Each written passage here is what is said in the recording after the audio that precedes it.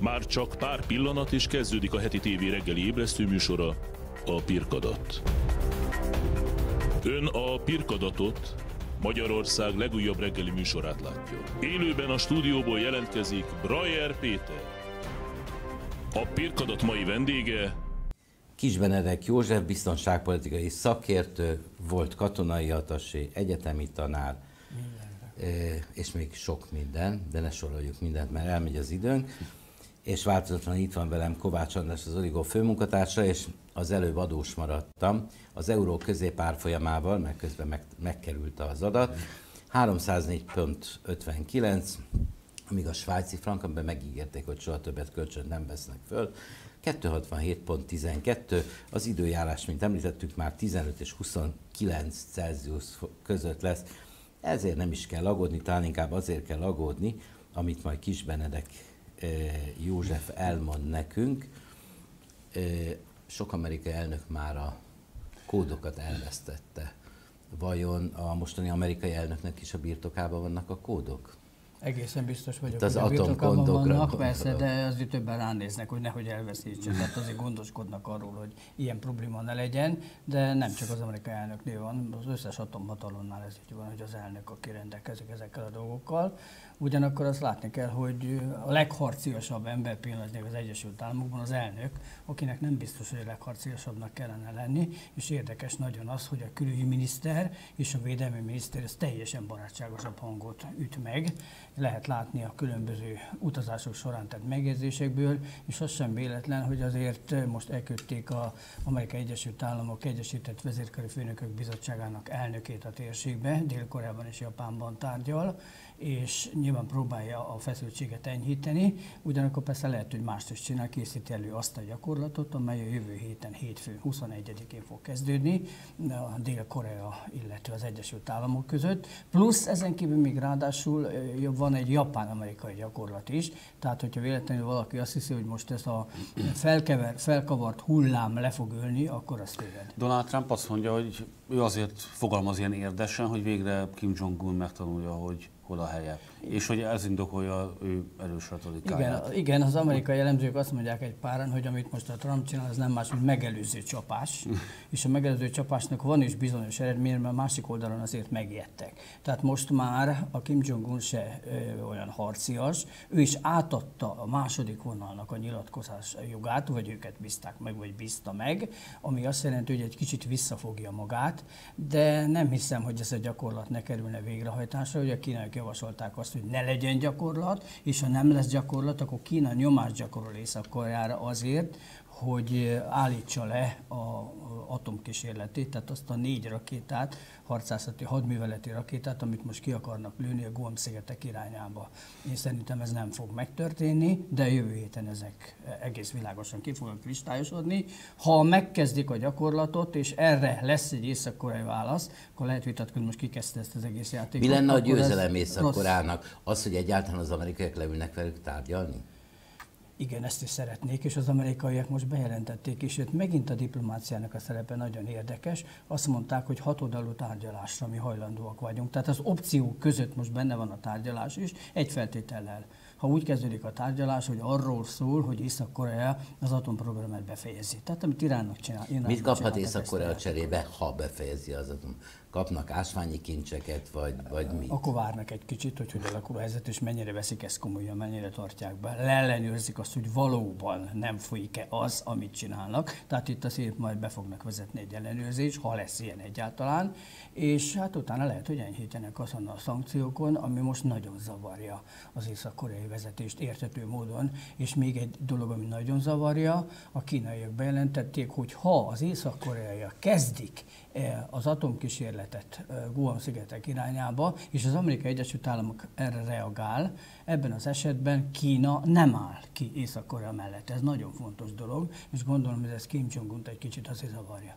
Van valami, ami Kim Jong-ot egyáltalán zavarni tudja? Van igen, hogyha felmerül az, hogy a hatalmat elveszíti, és mondjuk valamilyen módon hát eltávolítják, az egészen biztos.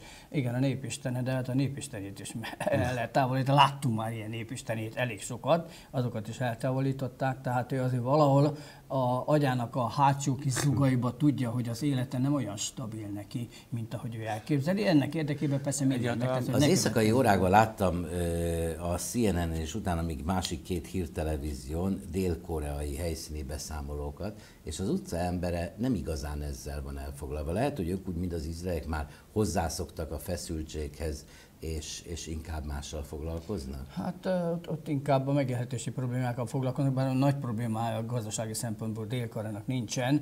Megszokták már ezt a dolgot. Tényleg úgy, mint Izraelben, jó terülünk, oké, hol volt, rendben, akkor menjünk tovább, tehát lépjünk rajta túl, és valahogy ők is érzik azt, hogy nem kívánják a háborút. Tehát két nép, két, egy nép elválasztva ugye egy demarkációs vonallal, ők nem szeretnék háborút Egyáltalán... egymás között, ráadásul családi kapcsolatok is vannak egyáltalán a nagyhatalmak szeretnék, hogy ez a status quo, amit 1953 óta van a korai félszigeten, ez megváltozzon? Nem szeretnék nem szeretnék, tehát a nagyhatalmak szeretnék az, hogy minden maradjon így, ahogy van. Kínának nagyon jó, hogyha van egy, van egy ütköző terület, oroszoknak nagyon jó, hogyha van egy ütköző terület, tehát ők nagyon megváltoztatni nem akarják, és azért még Kína is tart attól, hogyha a két Korea egyesül, aminek mondjuk jelenleg a realitása meglehetősen kicsi, akkor az azt jelenti, hogy lesz egy komoly vetértása. Gondoljunk csak ugye korábbi időszakban Vietnámban, amikor lett a két Vietnámból egy Vietnám, lenne egy egy Korea, nem hát biztos, kérdés, hogy jó lenne. És vajon Dél-Korea el tudná Észak-Koreát tartani? Hát amerikai segítséggel természetesen igen, de végül is Észak-Koreában vannak ásványkincsek, tehát ott nem olyan nagy probléma a gazdaságnak helyre, ott egy, ott egy óriási nagy változás, tehát a politikai változás. Ön szerint, ön szerint a, egy Egyesített Korea nem járna azzal, hogy a dél-koreai gazdaság pár évtizedre megrendül. Nézzük meg Németország Igen. példáját, ahol egy sokkal fejlettebb, sokkal fejlettebb területet Teljesen. egyesítettek a volt NSZK-val. Teljesen és... jogos a kérdés. Két ellentétes gazdasági berendezkedésű országról van szó, és fejlettség szempontjából is azért Dél-Korea technológia sokkal előbbre áll. Ilyen lenne egy életszínvonal csökkenés, ami nem biztos, hogy Dél-Koreában mindenkinek tetszene. Tehát lehet, hogy ott is sokan kimennek az utcá, kimennének az utcára, és az meg, hogy köszönjük szépen, nekünk most Észak-Korea nem kell ebből a szempontból. Tehát ez nagyon kényes kérdés. De a, a legjobb, mostani, ha marad az a status quo. De a mostani dél-koreai vezetés ugyan már a miniszterelnök ott szocializálódott, de Észak-Koreából érkeztek a szülei ő gyerekként érkezett.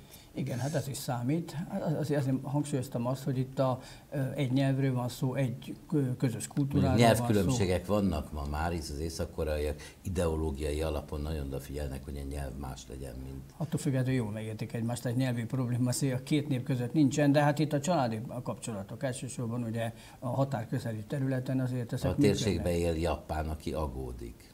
Japán nem szeretné, hogyha egyesülne ez a két ország, mert ez egy komoly, komoly erő lenne. Nem egy-két éven belül, meg 10-20 éven belül azért az feljönne egy középhatalomnál térségben. Na most Japánnak ez egyáltalán nem hiányzik. Ugyanúgy, lát, mint ahogy Kínának. Lát esélyt arra, hogy Észak-Koreán belül elinduljon valamilyen bomlási folyamat, hogy ez nulla az esély annak, hogy a, a rezsim belülről dőljön meg. Ezt már próbálgatják az amerikaiak jó néhány éve, hogy fölpiszkálják ott a kedélyeket, nem járt nagy sikerre, de más országokban sem járt. Most nem akarok például mondjuk például Kubával, hogy ott sem sikerült a nagy változást csinálni.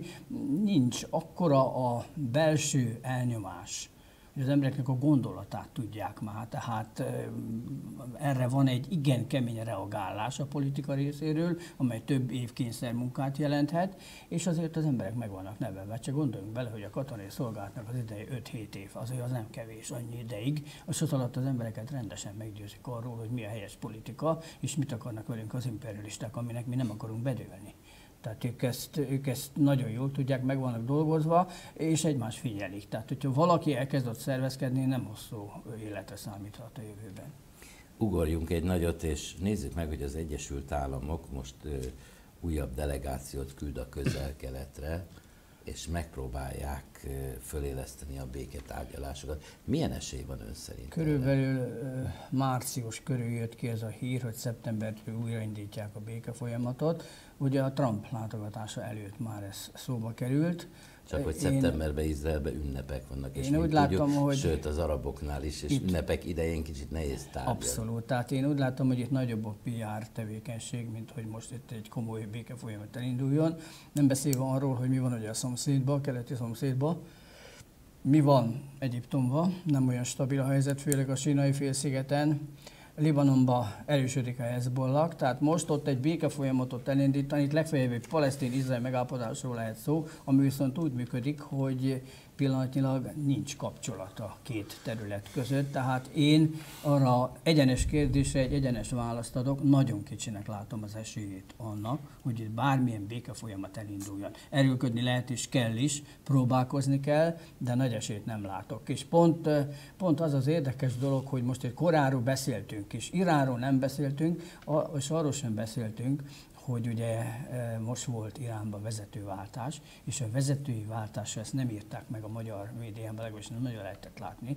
A vezetőváltásra megérkezett egy nagyon kemény észak-koreai katonai delegáció Iránba Gondolom, nem a, a halbiológiai kérdésekről beszéltek ez alatt a tárgyalások során, és el tudom képzelni az atomprogramon eset egy-két Pedig szó. az Most iráni haltenyésztés komoly helyet foglal. Az komoly, komoly, csak elég sok katona ment, tehát nem hiszem, hogy erről beszéltek, és, és az, hogy most Észak-Koreával ebben a helyzetben tárgyalnak iráni részről, azért ez mutatja azt, hogy Irán egyrészt mutatja azt, hogy középhatalom, és hogyha szankciót alkalmaztak velünk szembe, kedves amerikai barátaink, akkor mi meg majd segíteni fogjuk az észak-koreai atomprogramot, és majd meglátjuk, hogy ebből mi lesz. Tehát egy nagyon-nagyon negatív Ezt hogy érti, folyamat. Tehát a magyar mini atomkókat át Nem a magyar, szerintem a magyar, magyar kókat hagyjuk ott, ahol van, ha egyáltalán van ilyen.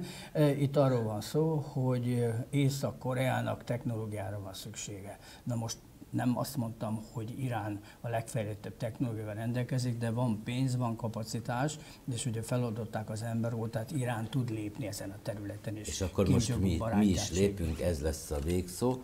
Kedves nézőim, Kisbenedek József, biztonságpolitikai szakértőt hallhatták, aki katonai atasé volt és egyetemi tanár legközelebbi előadása két nap múlva itt megint nálunk, ha csak addig ki nem tör valami, és akkor azonnal riasztjuk, ha más nem telefonon, és most következik a Heti TV teljesen független híradója, ami mindentől független, csak nem a tényektől. Nézzék velünk együtt, majd utána érkezünk vissza, mégpedig Tóth Gábor elnökkel, az Európa kapuja Magyar-Kínai Egyesület vezetőjével, és nem másról, hanem a 21. század sejem útjáról, na meg a v fogunk beszélni.